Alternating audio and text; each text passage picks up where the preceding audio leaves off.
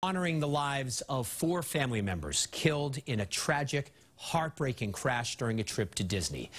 41-year-old Julie Smith, along with her two children, 5-year-old Scarlett and 11-year-old Jackson, and her mother, Josephine Fay, were all killed when a pickup truck slammed into their van. Four other family members survived that crash, and today family, friends, and the community are all saying goodbye. WBZ's Paul Burton is live tonight in Weymouth with more. Paul? Well, I tell you, the outpouring of love here is impressive, and the show of support is amazing for the Smith family of Whitman.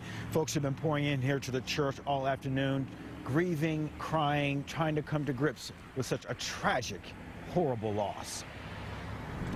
Lining up by the hundreds, an outpouring of love and grief for a family that has suffered an unimaginable loss. The wake for the Smith family is now underway here at St. Francis Xavier Church in Weymouth.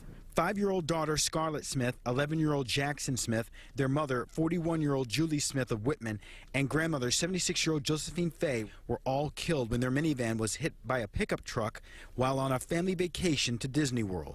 Julie's husband, Shane Smith, and her father, Bill Fay, survived the crash along with Scarlett's twin sister, Skylar, and their 10-year-old daughter, Shaylee. The family told WBZ this week that Jackson's organ saved at least four lives. This afternoon, busloads of people are showing up to pay their respects. You know, I don't know how anybody uh, can lose a child when you lose two and your wife. And they were his heart and soul. Such a great tragedy. And if you get into the church, you'll see the four caskets lined up in front of the altar. It's just heartbreaking. It's just tragic. My heart goes out to the family, really, you know. I mean, losing half your family, it's a lot.